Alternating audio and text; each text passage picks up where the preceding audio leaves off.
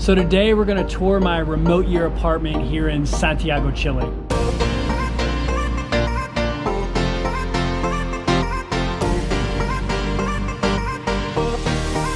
For those that don't know, my name is Kevin and I was in the military for 20 years. I became a corporate lawyer and I kind of got fed up with the nine to five, so I quit my job to travel full time. So if that kind of content interests you, please subscribe below. So I've been in Santiago, Chile for about a week and I figured it was about time to give you a tour of my apartment. This is my second apartment with Remote Year. My first one was in Lima, Peru, and if you haven't seen that video, I'll go ahead and link it somewhere up here.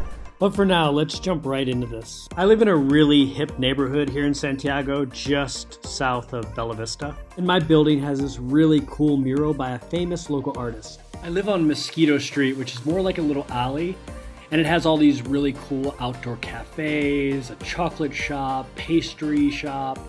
It reminds me a lot of Europe, actually. Which brings me back to my apartment building, which reminds me so much of the apartments in the Latin Quarter in Paris. And just like the apartments in Europe, the hallways are a little bit dark, kind of dingy, smell a little bit like cigarette smoke.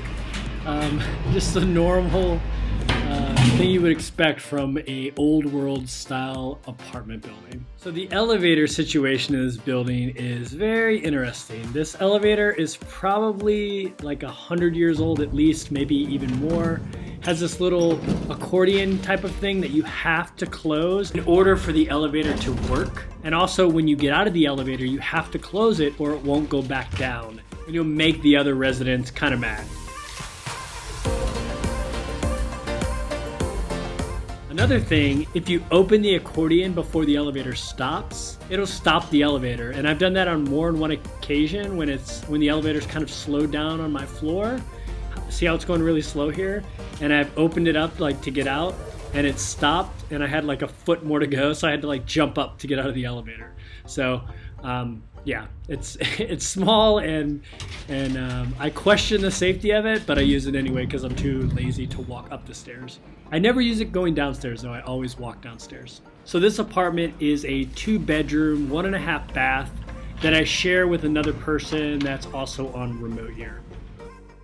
So we'll go ahead and start here in the living room. We have these great French doors that bring in a lot of natural light. This apartment has air conditioning units in each room, which is kind of rare in Latin America but we haven't really needed them because it gets down to the high 40s, low 50s at night here. So next we'll head into the kitchen here.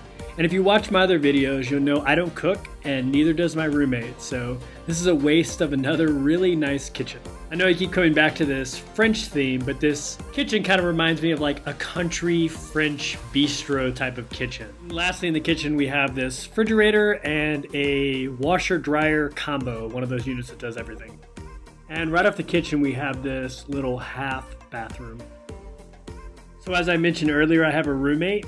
He's not in the apartment right now, but he gave me permission to go into his room. So I won't go too much in there. I don't want to invade his privacy, but I'll kind of show you what he's got going on there because it's pretty cool actually. So the room is pretty standard, but what's cool about it is he has this French door that gives him access to the balcony, which is really cool. Both of our rooms come with a flat screen TV and cable, but neither of us really use it. And lastly, we'll move on to my bedroom. Sorry to disappoint, but it's pretty standard. Other than some pretty unique artwork, which I think might be like a Banksy or something, I just have a bed, a nightstand, and a desk, and a window. So, pretty basic. So lastly, I'll show you our only full bath, and it's kind of a unique situation, or at least it's a unique situation for me. I've never had this before me and my roommate both have doors that access the bathroom and they can only be locked from the inside of the bathroom. So that's kind of odd, but we've come up with a schedule and we're dealing with it. And uh, the bathroom's nice though. I mean, it's got a nice shower. It's just kind of an odd arrangement. So lastly, I'll show you one of the coolest things about this apartment, the balcony.